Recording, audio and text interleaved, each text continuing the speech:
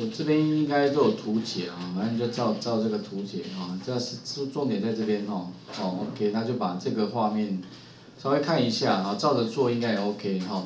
然后这边有需要的程式码哦，也会有，那你往前滚轮往前推，好像可以放大缩小哦。这个现在如果硬碟还做的还蛮贴心的哦，直接线上就可以看图。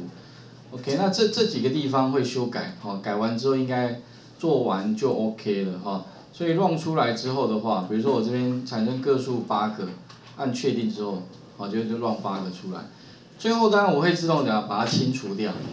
有没有啊？最最后是少写一个了，我觉得哎，好像最后如果没有清除掉，就再输入就不太方便，所以我最后会把它清除掉。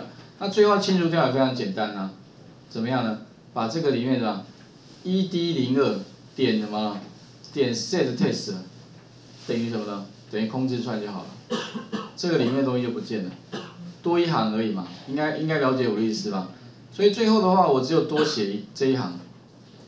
这一行什么意思呢？就是当我把资料输出之后，有没有就把那个 AD test 里面的。